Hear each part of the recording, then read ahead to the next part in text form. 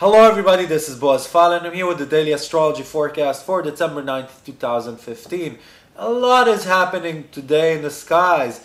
First of all, we are waking up to a morning with an optimistic edge to it with the sextile to Jupiter. Even though it's a, moon in Scorpio, we could feel like our juices are running in a very nice way this morning. But right after that, it becomes a black moon again and it's more sober, darker tone of the last few days comes back up to the surface. And you, if you are in the States, then you'll be waking up to a black moon already.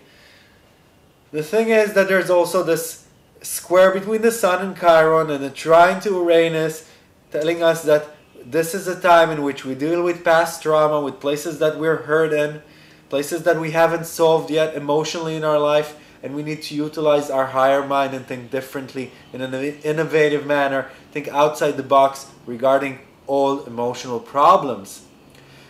Another system that is happening in the skies today is the T square. There's an opposition between Uranus and Mars, with Pluto providing a pyramid uh, in this triangle in the sky. That puts us all on overdrive, and we all are a little more edgy.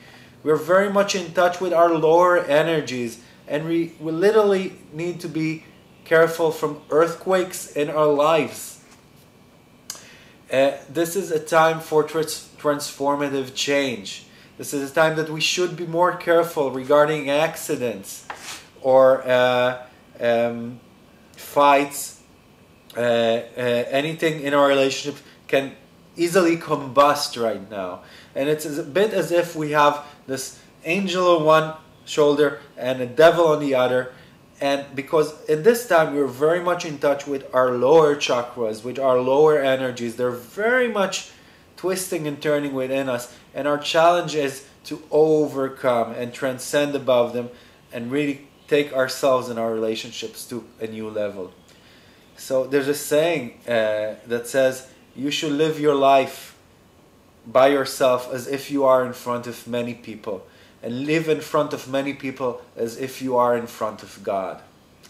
So take that, and I hope it's going to prove a positive day for all of us, and I'll be happy to see you all with me here tomorrow. Thank you for listening. This is Boaz Fyler. Goodbye.